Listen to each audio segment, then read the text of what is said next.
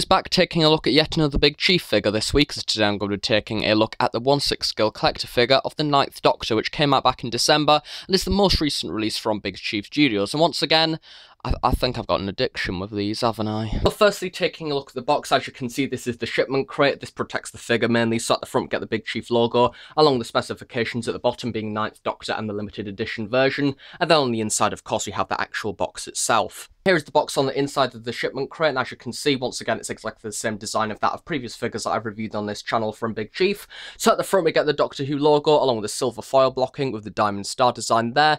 At the top, we get Doctor Who's Series 1, which is, of course, the costume design that this figure is from. The Ninth Doctor, 2005, and then at the bottom, we have limited edition 1-6 scale collector figure. At the sides of the box, we get a really nice large image of the Ninth Doctor, along with the Doctor Who logo. Then on the sides of this, once again, we get the Ninth Doctor and the Doctor Who logo once again. Peeling off the lid of the box now and taking a look on the backdrop on the inside, as you can see, a little bit of an odd choice this time as we have the TARDIS doors as opposed to the TARDIS console, which is great because the other previous releases of the 10th Doctor have had the actual TARDIS, therefore it's nice to have a little bit of a change. Here we have the inside box itself, so we have the Ninth Doctor nicely displayed, and then on the sides of the box you get the promotional images once again seen on the website, along with the specifications of the accessories. And then on the opposite side, once again, we get a few more bits of promotional material, along with the specifications the back of the box, once again, we get a really nice image of the Ninth Doctor, along with the TARDIS, with a bit of information about his incarnation, the Doctor Who logo, and the Ninth Doctor once again. At the top of the box, we get the Doctor Who logo, with the title of the set once again, and at the very bottom, we get some company information, along with the limited edition number, which mine is the 17th one out of 1,500. And then, of course, on the inside of the box, the figure is split into two trays. So we have the main large tray containing the figure itself and the majority of the accessories. And then we have the second smaller tray containing the base and the larger accessories. So here we have the Ninth Doctor out of his box, and doesn't he look absolutely fantastic? Ha ha, I've said the Ninth Doctor themed joke. Now moving on. So the figure itself has generally got a lot of different improvements, some of which you can in fact see, some of the ones that you can, and generally overall some of the complaints that previous figures have had have been improved upon on this figure, even though for me personally they haven't really bothered me in the past. So first off, the body underneath, something that you can in fact see now has the neck connected to the actual body. So for those people that want to detach the head from the body, you now can without the neck coming out separately. So that is something that's quite handy for people that do want to remove the head. Also, the clothing and the tailoring on the costume generally overall is a lot more tighter and well fitted to the body. Something that once again a few people have brought up on in the past, such as on the shirt on the 11th Doctor and the 10th Doctor.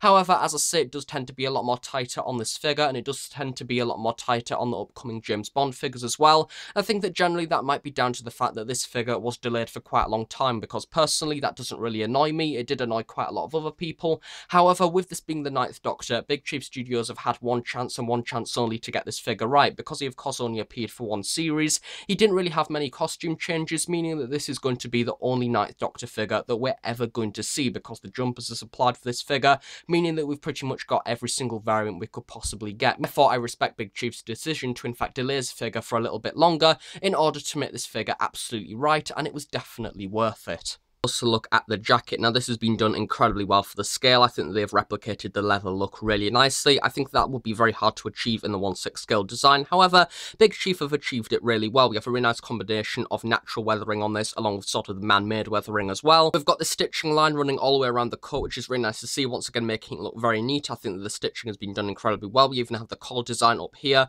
as you can see, which is has in fact been stitched down onto the coat itself, meaning it can't be lifted up, which really does aid the posability of the figure. And this really nice natural creasing as well, running all around the sides of the collar, which is nice to see. And then even at the front as well, I really like the way that we have sort of this stress, almost leather as well, once again making it look really natural have the inclusion of three buttons on either side as well, as you can see really nicely stitched on, and the same applies for the opposite siding as well. With the combination of pockets as well, we have this really nice indication of a pocket down here with the flap peering over, however this is in fact fake. And then we also have the pocket here, which I do believe is in fact also fake there, but you can in fact just lift it up slightly, once again giving the impression that there is in fact pockets there when there isn't.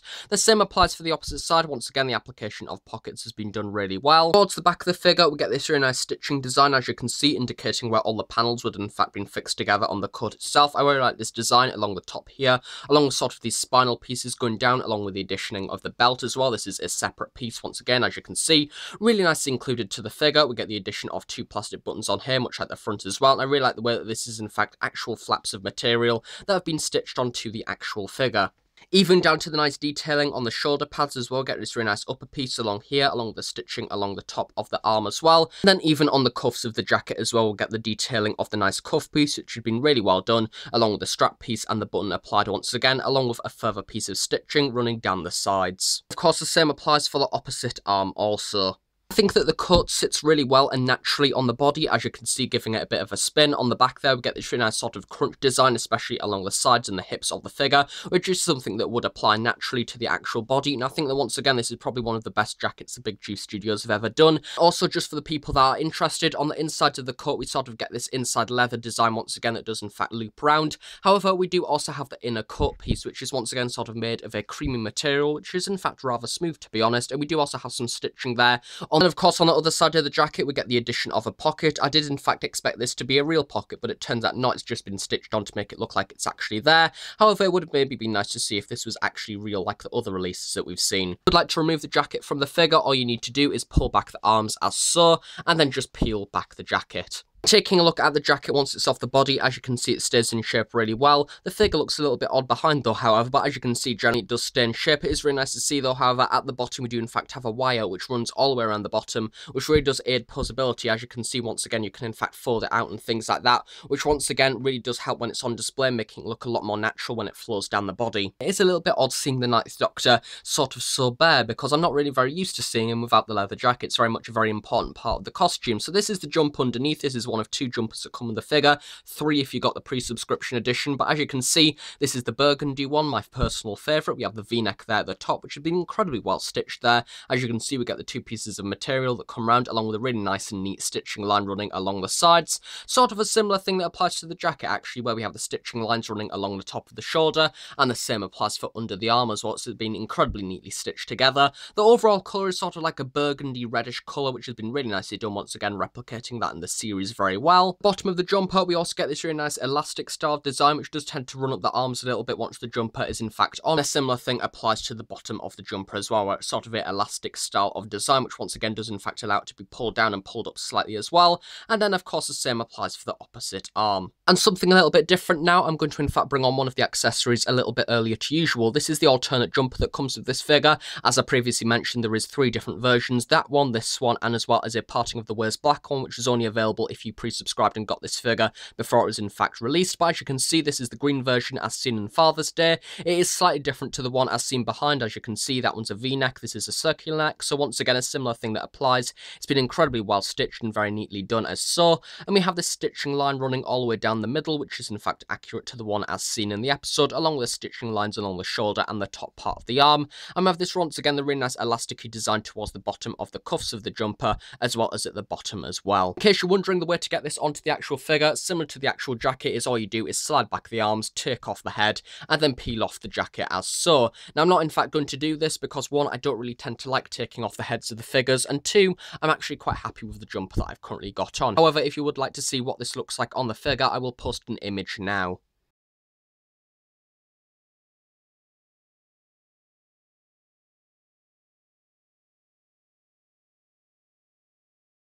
Get a similar design to that of the 12th Doctor figure, where we have this really nice texture on the trousers. Nothing really too much to talk about, they are sort of like a jeanish style of pattern, so we do have sort of a few grain designs in there. Towards the top there, we don't really get a belt or anything like that, because he doesn't need one, but as you can see, we still get the design there of the different cuffs and things that would in fact keep the belt in place. So we even have the hoops and things, which is great to see. We even have the pockets on the trousers as well. We get two at either side, which is nice to see, along with the detailing of the zip piece at the front, as well as the detailing on the back as well. We get a few additional stitching designs designs as so, along with the back pockets as well, which do in fact work. So bringing on a sonic screwdriver, you can very easily just slip that into the back pocket, which is nice if you would like to. The trousers themselves have been very nicely stitched together. As you can see, they are black and have the stitching line running all the way down the sides. And then even at the bottom there, we have sort of the cuff design, which has been really well done. Once again, replicating the trousers as seen in the show really well. However, not too much to talk about because they are still just black.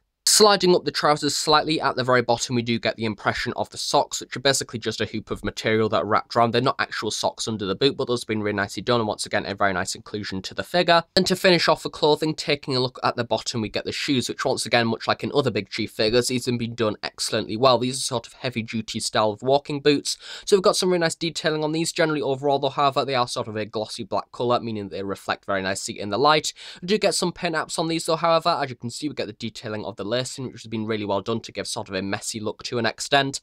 Then we even have the silver detailing of the different hoops and things keeping the laces in place, along with the stitching lines on either parts. As you can see above here, we do have the stitching line running all the way down, along with sort of the different panels of the shoe there sticking out nicely. The same applies for the opposite shoe. As you can see, we have the piece running along the bottom, along the sole, which has been really nicely raised up. And then even to the extent at the very bottom there, we get the treads detailed nicely at the base of the shoe.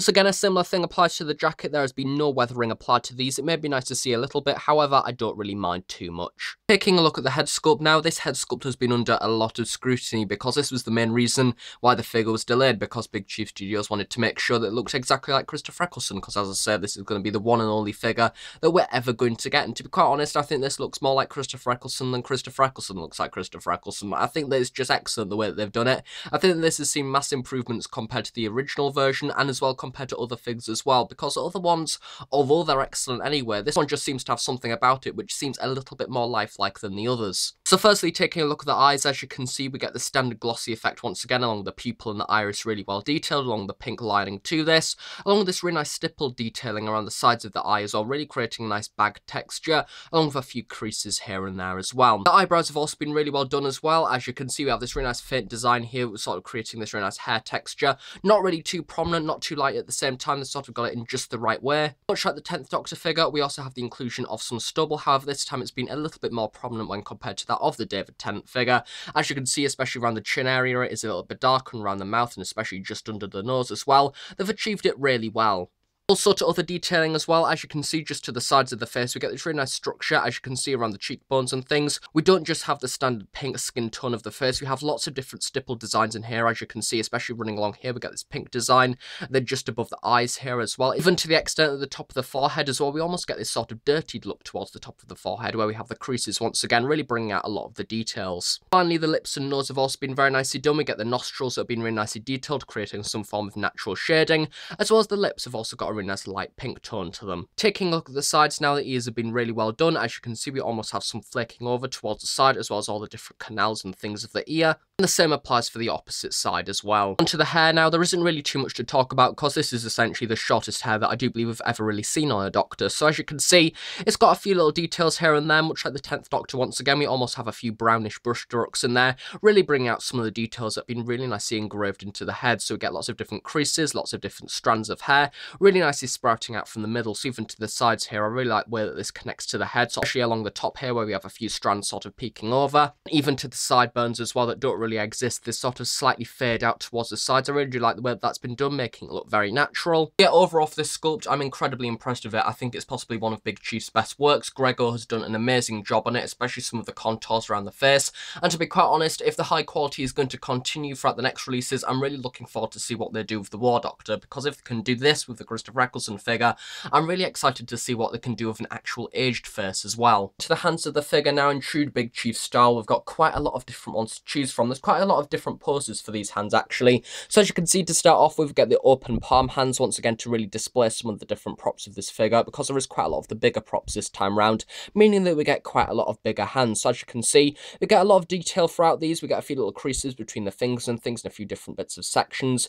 Then we even get a bit of the bone structure in there as well. Nothing really too drastic like the Peter Capaldi or William Hartnell hands because Christopher Eccleston was still quite young as he played the Doctor. He was sort of quite middle-aged and his hands didn't really age as much anyway, so therefore there isn't really too much drastic detailing on there, but they are still quite nice. And then of course here's a few more examples of the grappling hands. As you can see, they're quite widespread. All the fingers are individually sculpted. And then we also get your average holding smaller prop hands as well, sort of more specifically for the sonic screwdrivers, especially this one. We also get a further edition of this as well for the sort of medium products, as you can see with the fingers, quite interestingly sculpted. Finally, get some average closed fist ones as well that you can't actually hold anything with, they're just there for display purposes. There is in fact something to note with these new hands that come with the Ninth Doctor Doctor, and it is they're a lot less flexible compared to that of previous Doctor figures that they've released. For example, here is a 10th Doctor hand. As you can see, it's a lot more flexible. The fingers move a lot more freely. And then comparing that to the new 9th Doctor ones, as you can see, they don't really move whatsoever. They're more of a plasticky format, and that is because, well, generally that's because it was an error in the production process. And what I do know is apparently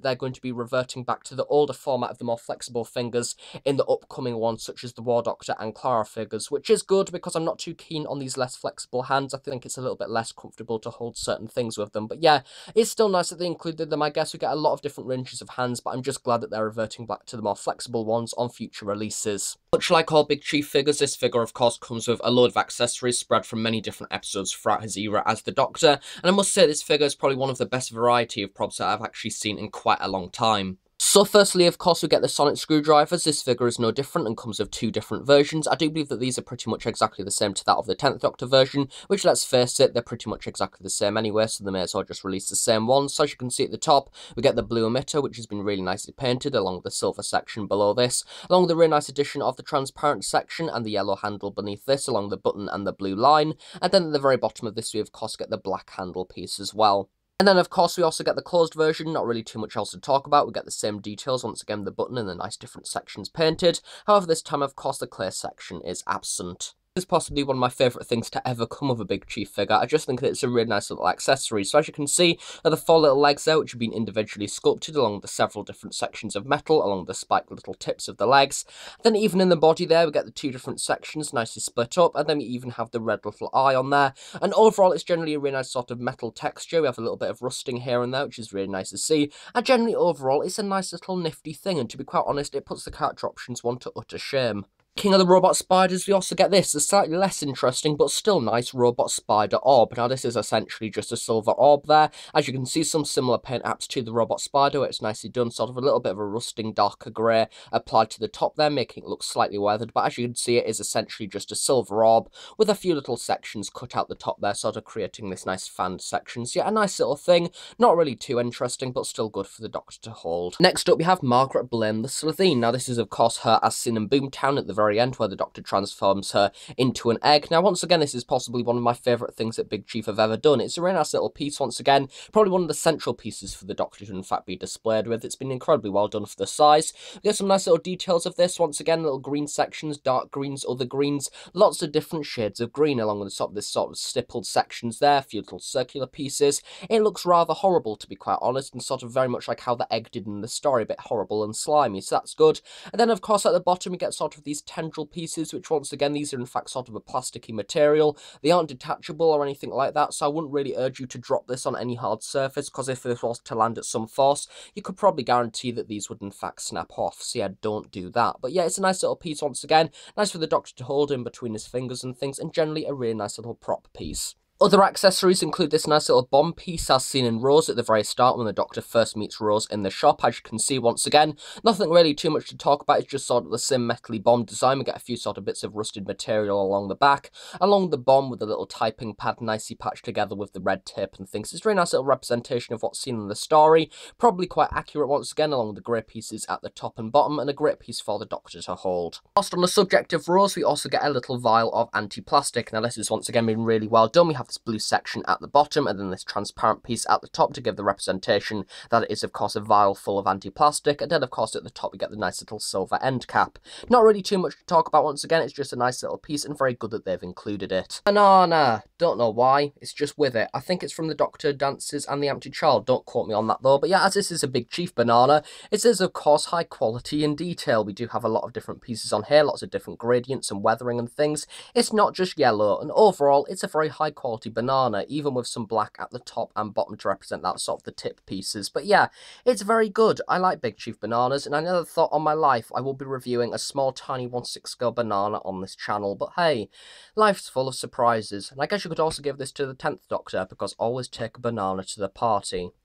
I, I can't believe I've just quoted the 10th Doctor. I did it wrong as well. Well done, me. And then, of course, much like all new series Doctor figures, we do, of course, have the Psychic Paper. Once again, been rather nicely done. It is pretty much exactly the same sculpt to that of all the Psychic Papers. This one is slightly more harder compared to that of the 12th Doctor and 11th Doctor one, though. Don't know why, but yeah, we have the white piece there at the front with nothing written on and just sort of the pleather leather design. And then, of course, on the front, once again, the same material, but we do have the faint design of whatever that's meant to be. It's on all of them. I don't really know what it is. It looks a little bit like a fork, but I don't really know. But yeah, it's a nice little inclusion once again. Another really nice accessory now is, of course, the TARDIS key on chain. Now, this is a nice little thing. As you can see, it's just a simple little key on a little band, as you can see there. Rather nice detail, actually, for the size once again. And then the rest of it is just your standard little sort of doggy tag style of chain along with a little clasp there. Now, that can go around the Doctor's neck if you would like it to, or you can hold it or anything like that. It's a really nice little piece overall to display with the Doctor. And finally, for accessories, we also get the Doctor's watch. Now, once again, for the scale, this has been really well done. We get the clock face there, which has been nicely detailed with a few little numbers and hands and things like that. And then, of course, around the sides, once again, we get this sort of leathery style of strap. We also get a few little details there, the holes and things in the strap, and even the detailing of the little buckle piece as well with the silver paint apps, which is really nice to see. And once again, that just simply fits onto the Doctor's arm. Moving on to additional inclusions now, as you can see, as always, you get your standard Big Chief Studios base, which is pretty much exactly the same to your usual products, as you can see. At the bottom, we get the hexagonal base, and then we get the crotch piece here, which moves up and down depending on how tall your figure is.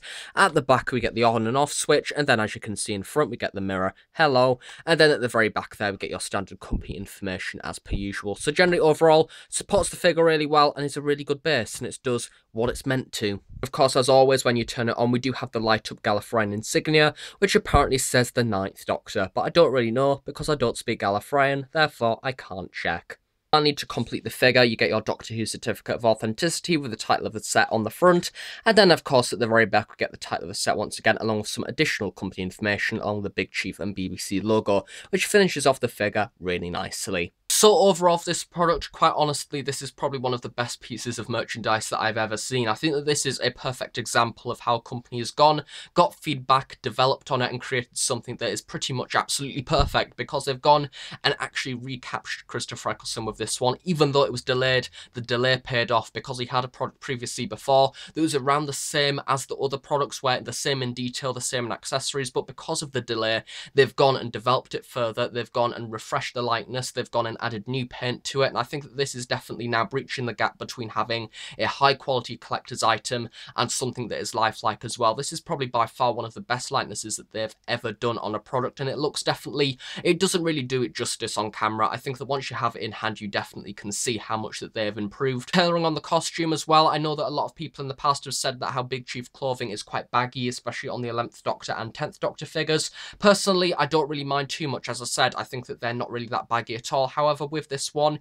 you can tell that the tailoring has been more specifically done for the 1-6 scale format, especially on the jacket, the way that we have the shoulder pads, and overall the costume works a lot better with the figure. That might be down to the simplicity of this actual costume from the show, but either way, it works perfectly. Off as well, the accessories that you get with this figure are a wide range. We get sonic screwdrivers, we get the TARDIS key on a chain, something that can go with the other Doctors as well, down to the even bigger things such as the Platform 1 Spider and the Slitheen Egg. I think that they're just little brilliant props, and I think they finish off the figure excellently. So as to where you can buy this product from, this is in fact the latest figure from Big Chief Studios. It was released back in December and it's still in stock now. I do believe it's around £179, maybe 189 I can't really remember. It's around that price mark. If you're a Christopher Eccleston fan though, however, I highly recommend this one. It will be probably on the site for quite a while. I don't really know though because it has been quite a popular one on the pre-order. So if you want this, I basically say buy it now or buy it as soon as you can when you've got the money because you do not want this product to go out of stock if you do want it. And as this is the most recent product that they've released, I think that this product alone definitely says that Big Chief Studios have got a very bright future ahead of them, and I can't wait to see